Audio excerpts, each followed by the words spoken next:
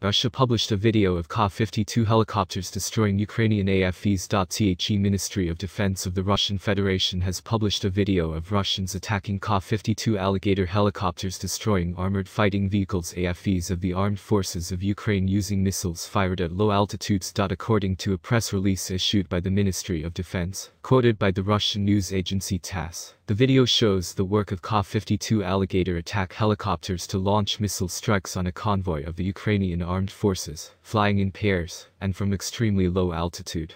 The Ministry of Defense of the Russian Federation says that guided and unguided air missiles were used for these strikes, without specifying their model nor when and in which region of Ukraine the video was shot. Russia continues to call the war in Ukraine a special military operation and claims that Ka-52 attack helicopters perform tasks of escorting Russian military columns, destroying armored vehicles of the Ukrainian army, and delivering spare parts to the battlefield.